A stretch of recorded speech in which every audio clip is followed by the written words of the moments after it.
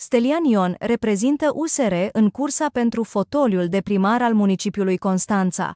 Acesta anunță că are proiecte, soluții și o viziune nouă pentru constanțeni. Sperăm ca proiectele acestuia să nu fie la fel ca cele ale lui Chițac, care au blocat municipiul Constanța timp de trei ani. Abonează-te pentru mai multe informații.